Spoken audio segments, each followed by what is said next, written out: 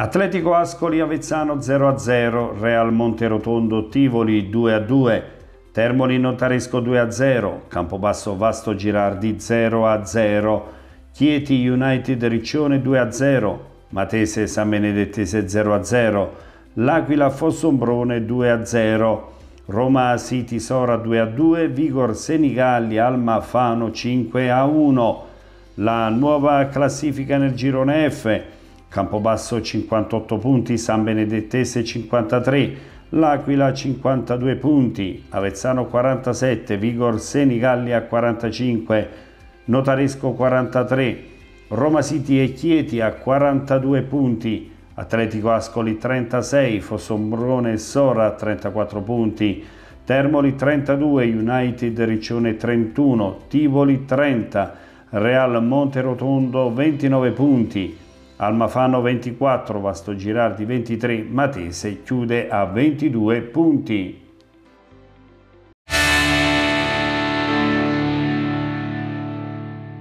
Attenzione a Pellegrini che è lì vicino a dare un'opzione una allungata in corsa Jurgens che va con le mani è letteralmente un cross colpo di testa attenzione che un De Marco che si coordina il pallone passa e rimbalza davanti a Benvenuti che però la fa sua raccoglie di nuovo sempre Fatati in mezzo alle maglie bianche del Real Monterotondo. Lato corto di sinistra all'area di rigore ecco Montesi trascordato in mezzo altro cross. Attenzione a De Marco che ha provato a girare di testa non era facile impreciso però occasione per la Tibur e occhio ai movimenti che partono dal limite dell'area di rigore c'è Pellegrini a destra Maurizi va al cross. Colpo di testa vincente! Vantaggio Tibur ma c'era fuori gioco cercare Vestinicchi, il pallone scorre, Vestinicchi con l'esterno verso Maurizi, pallone al centro, attenzione, il pallone arriva a Pellegrini, Pellegrini calcia in diagonale e trova il vantaggio per la Tibur, stavolta è tutto regolare, Pellegrini porta avanti la squadra tiburtina. Prova ad uscirne palla al piede Meledandri, arriva anche Malvestuto a dare supporto, però il pallone è corto, eccolo lo slovacco, attenzione al pallone all'interno dell'area di rigore, doppio rimpallo, sta arrivando di nuovo Malvestuto, poi conclusione a fil di palo campo. Tutto ok, si può giocare di nuovo, occhio a questi movimenti davanti alla linea di porta di Zappala, cross da quelle parti, Zappala si allunga con il pugno, forse ha subito fallo in attacco e così. Intervento di Valentini che aveva capito tutto. Pellegrini, di nuovo Zappala. Pressa Squerzanti, attenzione a Zappala che scivola, attenzione Squerzanti, si allunga, mamma mia che brivido, stava per fare un disastro Zappala. Solito schema di prima con il cross di Recucci, colpo di testa, Zappala sulla linea, ha salvato, che parata, anzi il pallone ha varcato totalmente la linea, allora il Real Monterotondo ha pareggiato. Dalla bandierina, stavolta da destra. Sempre Maurizi, palla cross con il destro, colpo di testa ad allontanare di Riccucci, poi quello di Manca a liberare l'area. Grossi si coordina, fa partire il destro volante, impreciso, non era facile. Si muove Manca che riceve lascia un po' a metà strada il pallone prova ad approfittarne De Marco che la perde. Allora attenzione a Meledandri riesce comunque a crossare in mezzo ma il vestuto. Allunga il piede sinistro non riuscendo a inquadrare la porta con un angolo stretto. Tato allora allontanato da Fatati a lottare Vestenicchi che ha buttato a terra Primasso. Attenzione che l'arbitro del cartellino rosso in mano ed espelle Vestenicchi allora rimane in 10 la Tibor nel momento cruciale Ponto Grossi. Occhio anche a Diemma, cross al centro dell'area di rigore, pallone scorre e finisce in rete. Vantaggio della Tibur nonostante l'inferiorità numerica. Ti regala poi il possesso, forse no perché c'è Albanesi che fa un ottimo lavoro. Albanesi altro lancio lungo trattenuto, forse Montesi va a lottare per Rotta. Occhio a Riosa, pallone alzato all'interno dell'area di rigore, arriva Zappala. Andri va in verticale, Menedandri messo giù, attenzione al pallone che si impenna, il colpo di testa, poi quello di Rioso, occhio a Squerzanti, la posizione regolare, uno contro uno con Jurgens, cross al centro, secondo palo, colpo di testa, c'è la rete del pareggio nel finale per Real Monterotondo con un braccio, ma il recupero è scaduto dopo 10 minuti, quasi 11, oltre il novantesimo, si chiude così, Real Monterotondo Tivoli è 2 a 2, un punto a testa.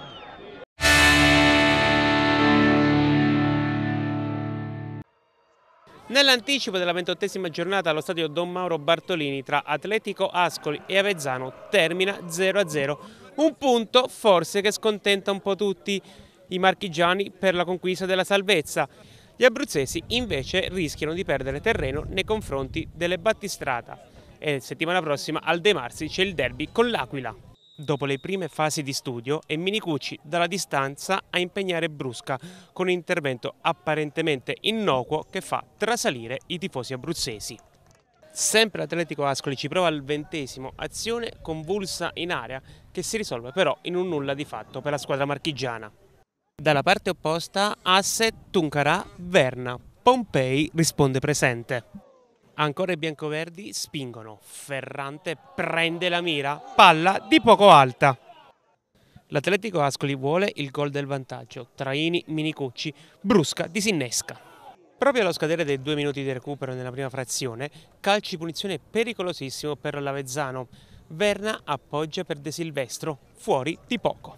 Nella ripresa i padroni di casa entrano con il piglio giusto, Traini svicola in area, murato all'ultimo della difesa avversaria. Sul proseguo dell'azione Minicucci dal limite prende la mira, fuori non di molto.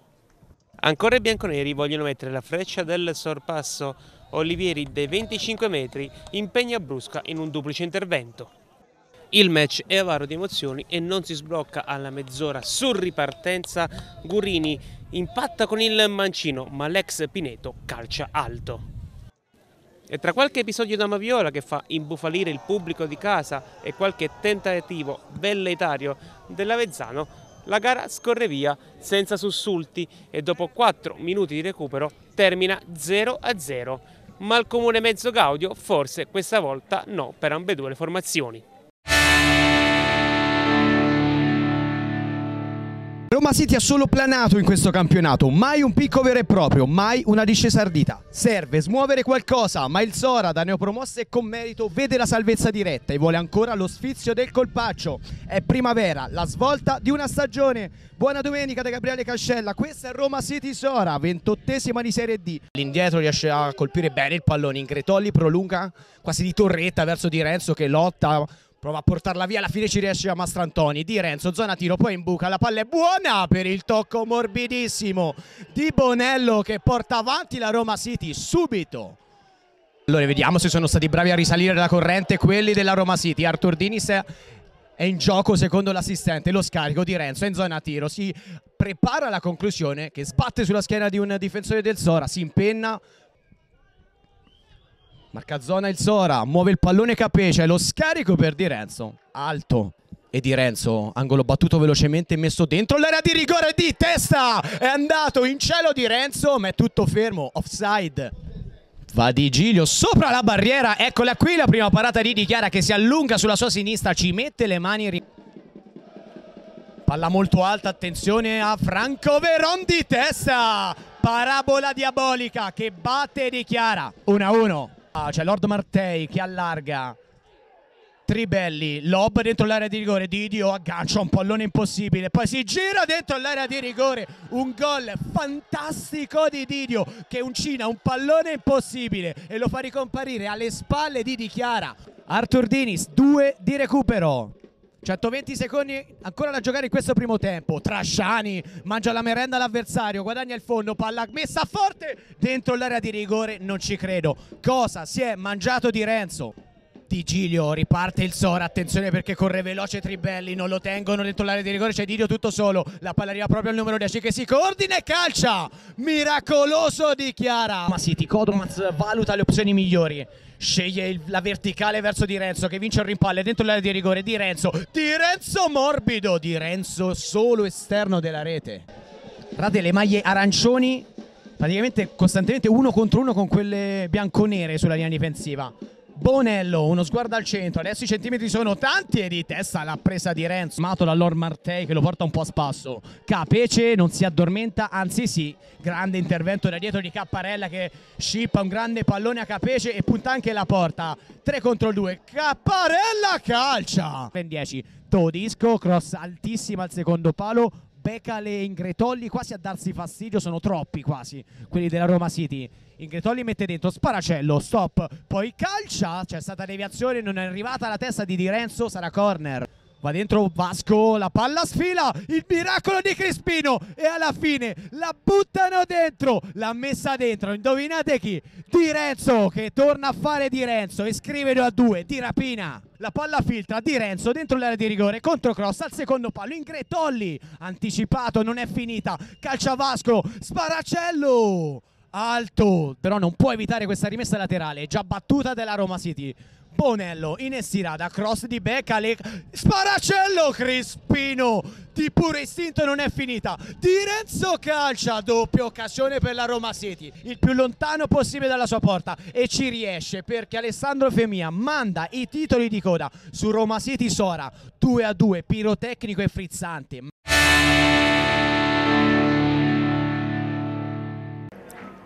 Tre punti e bel gioco. Il Chieti, oggi in completo bianco, mette sotto anche il Riccione, centrando il terzo successo consecutivo della gestione Luiso. I neroverdi salgono a quota 42, virtualmente in zona franca e accorciando dalla zona playoff. Il quinto posto ora dista tre punti. Luiso deve rinunciare a Salvatore per un problema al flessore, un'assenza pesante perché il giocatore era in gran forma e domenica scorsa aveva firmato la vittoria a Fossombrone.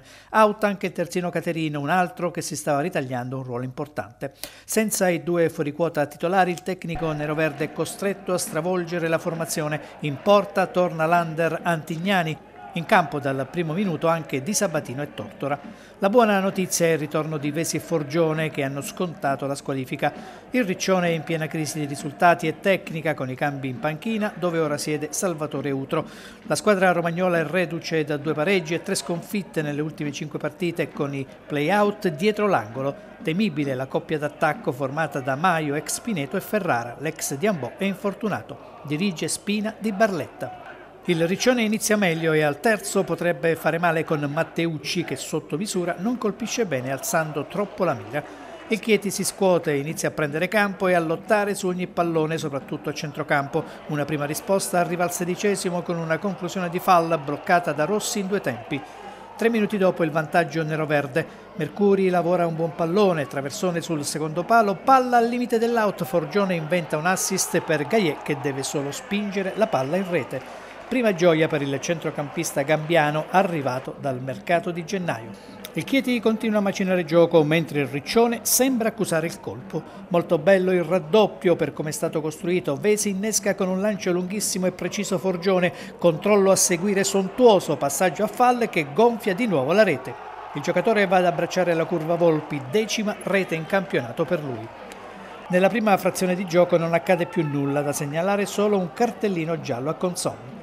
Con le immagini di Alberto Capo passiamo alla ripresa. Stessi 22 in campo, ma Riccione che preme sull'acceleratore per riaprire la gara. Quarto minuto, tiro secco di Maio, Antignani blocca. Ancora Riccione pericoloso al tredicesimo con Ferrara, bravo l'estremo nero-verde a sventare. Forze fresche per gli ospiti con Silla e Pellacani. La pressione la pressione continua ma il Chieti si difende con ordine. Primi cambi anche per Luiso, dentro Sueva per Mercuri e Mazzei per Forgione che esce tra gli applausi a sottolineare la prova maiuscola.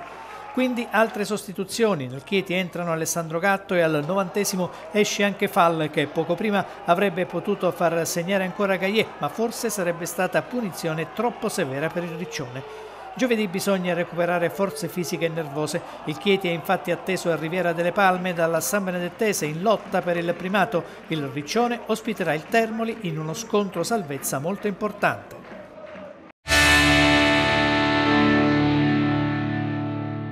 La Vigor Senigallia strapazza 5-1 il Fano nel derby al Bianchelli al termine di un match che ha visto i rossoblù condurre sin dall'inizio nel punteggio, ma dopo aver chiuso la prima frazione sul doppio vantaggio e sciupato occasioni in serie in apertura di ripresa per mettere al sicuro il risultato, ha invece consentito ai Granata di accorciare le distanze tenendo aperta la sfida fino alle battute finali, quando la doppietta dell'ex Broso permetteva di chiudere i conti. Dopo una stagione passata ogni domenica a fare i conti con le assenze, per questa sfida il tecnico di casa Clementi è costretto a fare a meno del solo squalificato Magi Galluzzi, mentre Manoni rispetto alla bella prova con il campobasso decide di sostituire diverse pedine in mezzo al campo, con Gonzales che torna titolare per ispirare la manovra granata. Dirige Marinoni di Lodi. La Vigor parte con determinazione e personalità, imponendo subito il suo ritmo alla sfida e dopo 4 minuti è già in vantaggio. Cross di Gambini dal vertice destro dell'area sul secondo palo dove duellano Mancini e Ballello. Il pallone resta nella disponibilità di Cheriota che senza pensarci calcia forte. Guerrieri ribatte di piede ma Pesaresi è il più lesto di tutti a raccogliere e infilare in girata la porta ospite per l'1-0. Subito sotto come sette giorni fa l'Alma cerca di prendere le misure a una Vigor che ha approcciato meglio la partita, ma dopo aver corso un grosso rischio con un pallone perso al nono davanti alla propria area, con i rossoblù che non riescono ad approfittarne, superato il quarto d'ora arriva il raddoppio. Al sedicesimo Pesaresi imbuca bene per Cheriota che dal fondo mette in mezzo, la difesa granata ribatte corto e dal limite Capezzani firma col destro il gol dell'ex infilando ancora Guerrieri per il 2-0. La Vigor a questo punto prova ad amministrare con l'Alma che ci mette parecchio a riorganizzarsi e solo nel finale dei tempi i ragazzi di Manoni riescono a rendersi davvero pericolosi. Al 38 un bello schema a calcio d'angolo permette a Pier Federici di incunearsi a destra in area di rigore per cercare la conclusione da posizione defilata. Gambini si immola e manda ancora in corner. Sul successivo tiro alla bandierina Gonzales pesca la testa di Urbinati che però non inquadra la porta. La Vigor capisce che non è il momento di abbassare la guardia e rialza il baricentro chiudendo la prima frazione in avanti. Dopo l'intervallo i ragazzi di Clementi partono subito all'assalto della porta ospite collezionando quattro occasioni in cinque minuti, prima che Riota si vede murato in corner dalla schiena dei Mancini il suo sinistro. Sul successivo tiro alla bandierina è sempre il 7 di casa a pennellare per Pesaresi che incorna a colpo sicuro ma Allegrucci allontana sulla linea. Al secondo minuto è Ballello a sciupare un'ottima occasione in contropiede, mentre al quinto Beo, dopo una bella percussione dalla sinistra, alza troppo la mira dai 20 metri. Il 3-0 sembra nell'aria e invece arriva inaspettato il 2-1. Al settimo Koulibaly va via di forza a sinistra e dal fondo mette in mezzo Pier Federici è puntuale a correggere alle spalle di Roberto accorciando le distanze. La rete dell'Alma accende gli animi in campo con la scintilla che scocca al nono dopo una serie di contrasti duri sulla tre quarti ospite con Marinoni che ha il suo da fare per riportare la calma tra gli uomini in campo. Si lotta con grinta su ogni pallone in ogni zona del campo con l'Alma che a questo punto crede nel pareggio ma a ristabilire le distanze arriva al diciottesimo il rigore assegnato da Marinoni ai rossoblù che punisce l'intervento di Mancini in area su Pesaresi scatenando le proteste vibranti dei Granata. Il capitano rossoblu non si lascia distrarre e dagli 11 metri spiazza Guerrieri per il 3-1. L'Alma non si dà per vinta e prova ancora a riaprire la sfida, ma stavolta la Vigor non si concede distrazioni e anzi punge più volte di rimessa, trovando a 5 minuti dalla fine il quarto gol con Broso, che raccoglie al limite la respinta dei Guerrieri sul tiro di Cheriota, firmando il 4-1 che chiude i conti. Due minuti dopo lo stesso ex capitano dell'Alma punisce ancora i suoi ex compagni centrando la doppietta personale che fissa il risultato finale sul 5-1. Il risultato manda in visibilio il pubblico di casa e riporta la squadra al quinto posto in classifica, mentre i Granata escono battuti con un punteggio pesante, soprattutto per il morale, con il Fano che resta al terzultimo posto in classifica e per il quale questo punto diventa decisivo il prossimo derby con l'Atletico Ascoli.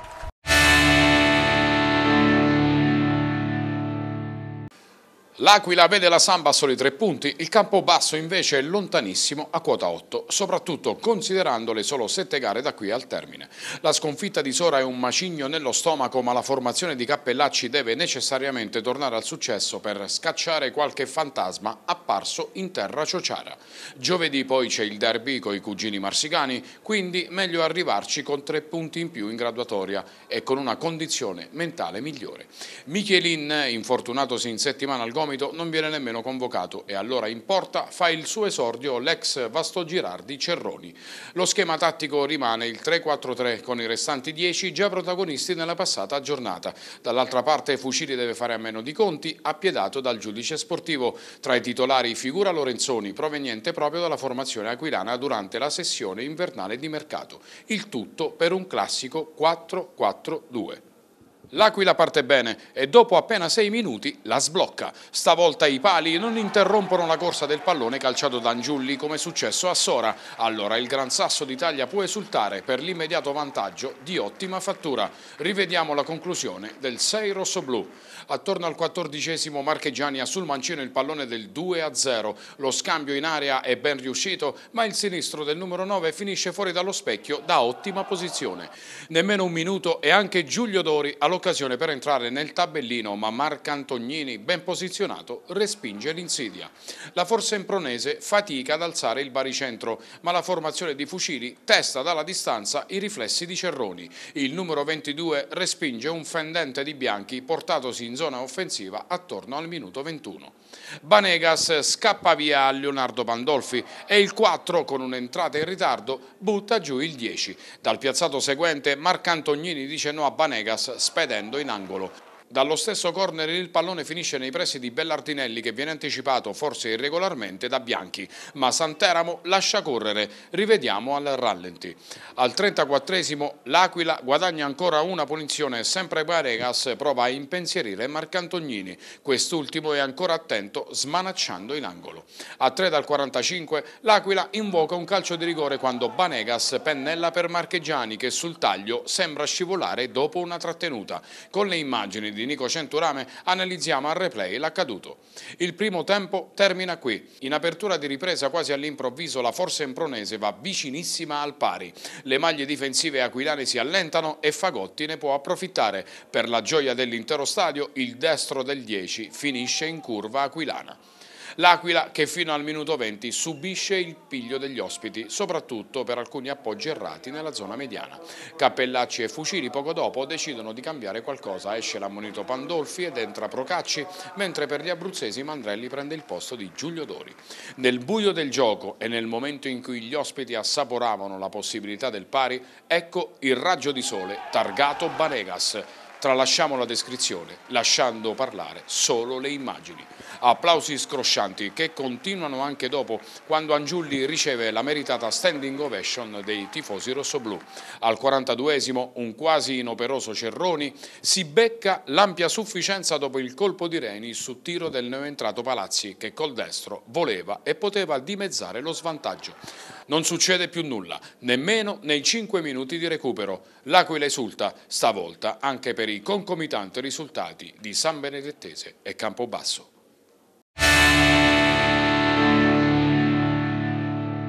Dallo stadio Pasqualino Ferrante di Pedimonte Matese, Matese San Benedettese, una gara molto delicata, entrambe sono in cerca della vittoria, vitale, fondamentale per riscattare le rispettive sconfitte di domenica scorsa e per tenere ancora in vita, in vita i rispettivi sogni, quelli di salvezza per il verde oro e quelli di promozione per il rosso blu.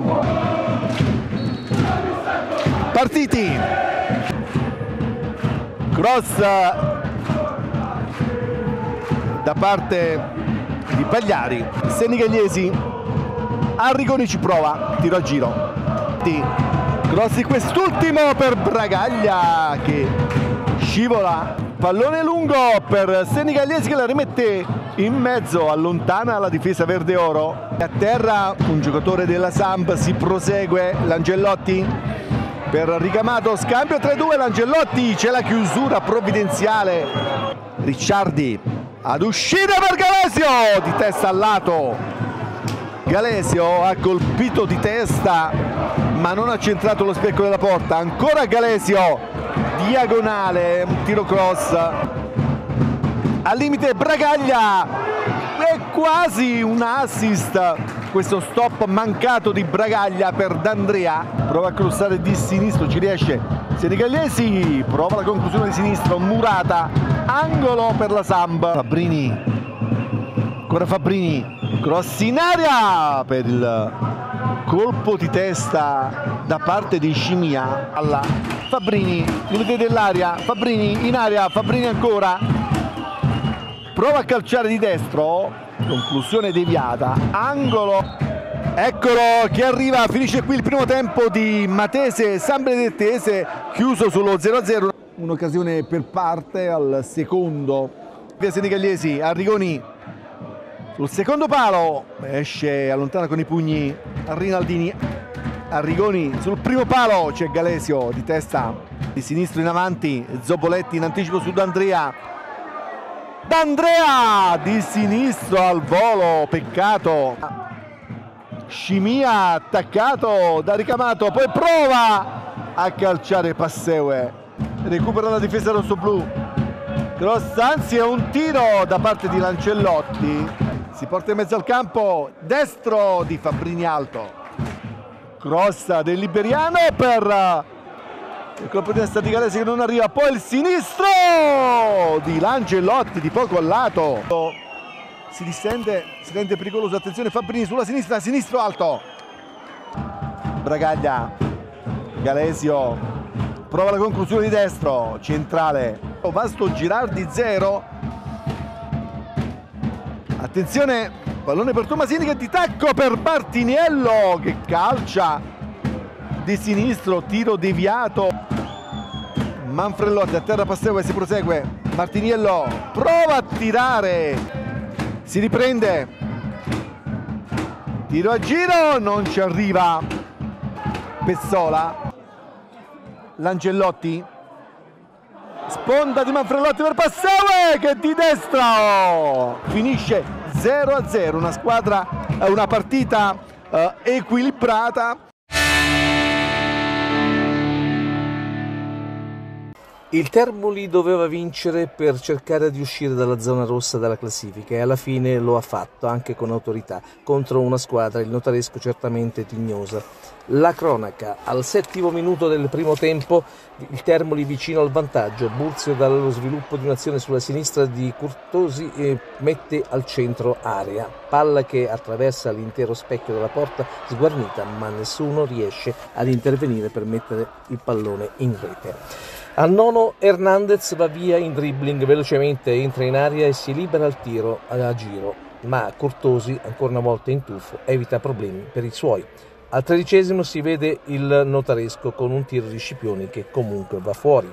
E siamo giunti al ventiduesimo quando arriva il primo squillo del Termoli Calcio. Hernandez su un cross invitante di francesino Usfar dalla sinistra, messa la palla in aria, lui eh, Hernandez che non è certamente fisicamente un corazziere si erge di testa e beffa il portiere della formazione avversaria. Siamo al secondo tempo, ci prova comunque subito il, il notaresco con Francoforte, ma è un tiro che non crea problemi a Lombardo.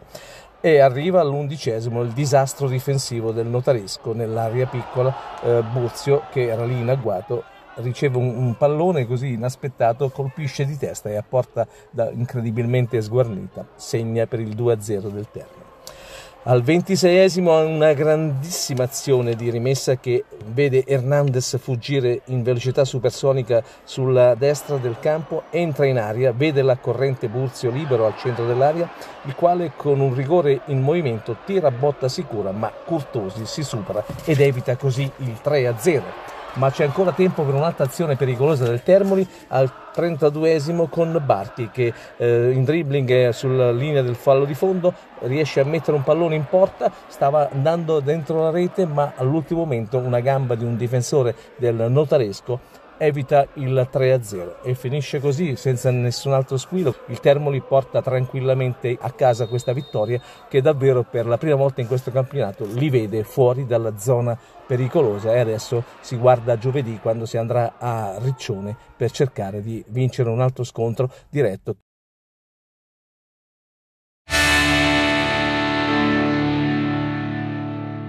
Dall'Avicor Stadium di Selva Piana è la ventottesima giornata. Campobasso Vasto Girardi, il derby del Molise.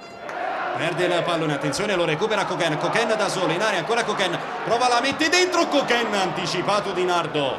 Piccolo primo brivido per il Vasto Girardi, poi Panaro allontana. Bassissima la difesa, quasi a voler coprire lo specchio della porta e non permettere la conclusione di Maldonato che prende la rincorsa. Maldonato, la conclusione centrale. Bella la scucchiaiata, a trovare Di Nardo, prova il controllo il numero 9, ancora Di Nardo, l'appoggio per Pacillo, va come un treno Pacillo, tutto da solo, pallone in aria, verso Coquen, il destro, sporco, poi Di Nardo, la ribattuta non ci arriva Grandis, non ci arriva Grandis, un altro acuto del campo basso che resta in attacco e lo fa con Parisi, il traversone sul secondo palo smanaccia Servalli, Parisi, Grandis, al limite dell'aria, ancora Grandis, un rimpallo che lo favorisce, Coquen può andare alla conclusione, oh, ha provato il tiro a giro Coquen, non l'ha presa benissimo. Forse la finta di Dinaldo per far saltare la barriera, per far andare Maldonado, chi lo sa, vedremo. La rincorsa. di Dinardo. A butta bassa la deviazione. Lumbari punta l'uomo, prova la conclusione. La sfera che arriva Di Filippo. È tutto regolare, ancora Di Filippo con l'esterno. Maldonado. Il tocco morbido. Non ci arriva nessuno. Grandis! Il sinistro di Grandis. Salto sopra la traversa. Traversone, occhio! Ah, Gonzales. Salta anche Coquen. Il contrasto alla meglio il giocatore francese. Coquen alza la testa, può provare a puntare Ruggeri, pallone in aria! Anticipato Grandis, calcio d'angolo. La traversone, primo palo, stacca di Filippo. Romero con all'esterno, Di Nardo. Il pallone per Serra, Serra. Prova forse la conclusione, alta sopra la traversa. Maldonado. Lombari.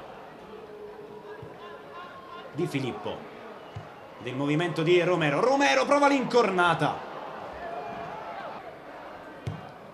Pallone in aria, non salta nessuno. Grandis, sì dal controllo, la conclusione di Grandis. Servalli, la deviata calcio d'angolo.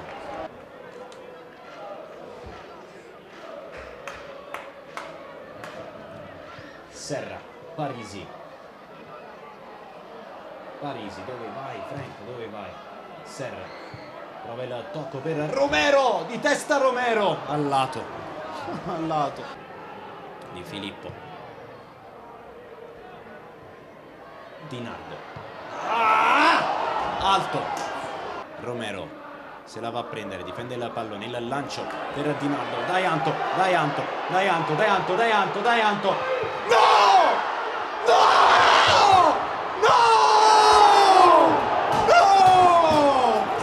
Ci credo! Non ci credo! Non ci credo! E finisce qui 0 a 0. 0 a 0. Termina questo derby tutto molisano.